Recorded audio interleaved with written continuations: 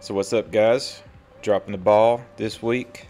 There was a patch 1.1.348 and I didn't know it was coming. Usually the reason I know when I know is because I'm an early riser and I've been playing this game religiously since launch and I've just quit. So last weekend tried to do some invasions. Out of a dozen times I got two matches with a host and one of them it was pitch black when I entered their world. That was it. And I was done. The PvP in this game is trash and has not been fixed. And when you do connect with somebody, it's just not fun. I mean, the trades aren't fun. It's not really that dynamic. And so what I did, I started playing Elden Ring again. And I've been having the time of my life. I've been invading. Uh, I keep the blue cipher on, so I'm always called as a cop all the time. And it's very active. It's more active than Lords of the Fallen, a brand new game.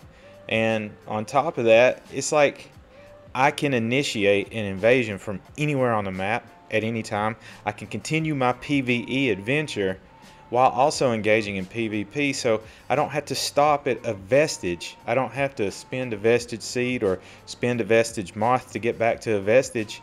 If I'm doing PvP in Lords of the Fallen, I'm doing PvP in Lords of the Fallen. If I'm doing PvE, I'm doing PvE.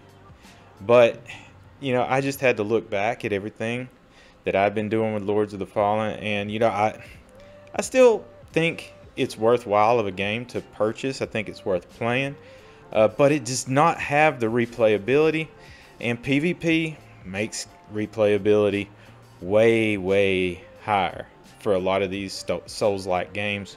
But on top of that, the difficulty in PvE also makes it worth playing again. You got to have dynamic bosses that have dynamic behavior. You got to have bosses that are hard.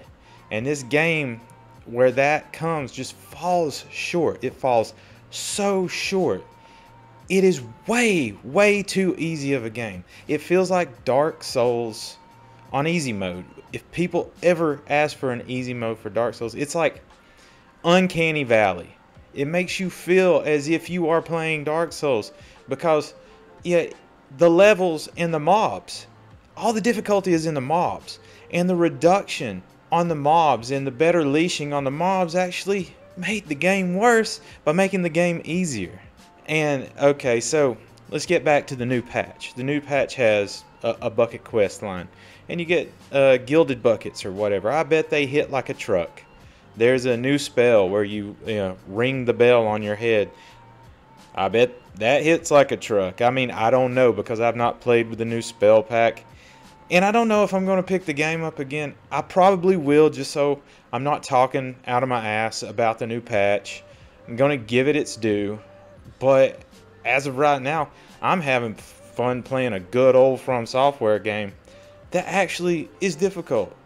That's actually got active PvP.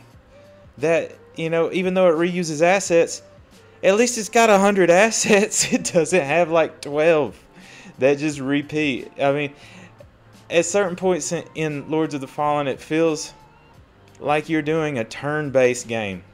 The windups and telegraphs are so big, and the umbral eyes, like the umbral eye of Loash, just allow you to cheese. And you know, even if you don't she's like the very first playthrough, I played Onga Bonga.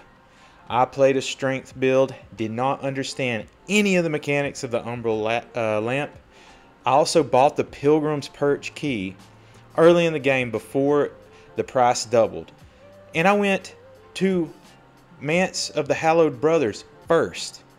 I went Manse of the Hallowed Brothers straight from Pilgrim's Perch with a melee build, not using the Umbral Lamp, and that level of difficulty at launch felt like a Dark Souls game. And I loved it. I was like, damn. And that's where I based most of my initial judgments on was that playthrough. I'm like, damn, this feels like Dark Souls. But since I discovered, you know, all the stuff in the game and you know, since I've been like following some guides so I can, you know, platinum the game, and I go in the intended order, it is just not difficult. It is just not hard enough. It's not challenging enough. The PvP is not active enough, and the trades aren't as fun. So I asked in the thumbnail Is it worth playing? And I meant it. It is not clickbait. Is it worth playing? So in the comments, tell me, am I missing out? Should I give this new patch its due? You guys tell me.